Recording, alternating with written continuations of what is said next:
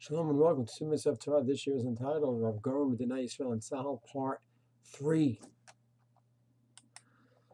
Another issue that Rav Goren was involved in, tragic, tragic issue, is identifying the bodies of the fallen. And it's not just a question of respect for the mate, which of course is an amazing, important mitzvah in its own right, but what about all the women, the wives? It's incredible beyond belief is that Rav Goren went ahead after 48, where hundreds of Chayalim were killed by the Jordanians and the Egyptians, he went, he met with Nasser, who was a young army officer in those days, and he met with him behind enemy's enemy lines to find the graves. There was mass graves, but he needed to determine if there were any surviving Chayalim. He cannot go ahead and take the bodies out of the graves from Egypt but at least he can ascertain the numbers of the dead and does it match up with the numbers of the people missing?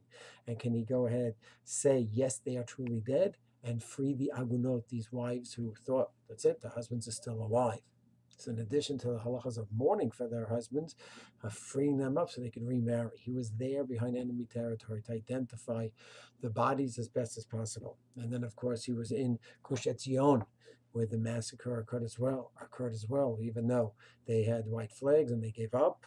They killed them all. The Jordanians killed them all anyway. He had to go through minefields, literally minefields, to go to meet the the people in the Gush area, in the bunkers where there were explosives were thrown in and blew up there, blew them up. He had to go there and try painstakingly get there. He was able to retrieve the bodies and bring them back and all the halachas of how to identify a body and how to go ahead and when to declare that a chayal is gone and when the woman can be married, that was all Rav Goren. The Dakar submarine, it went under.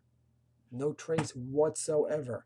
Came from Europe flying to Israel, uh, flying, uh, sailing, okay, or in, go in Israel underseas, gone, off the radar. No one knows what's happening the world, actually, many countries were out searching. Some were criticized. Why are you helping to search for an Israeli submarine? But be that as it may, the world was searching for it, and Rav Goren needed to paskin. It's a yam, it's a it's a river, it's a body of water where there's no end to it.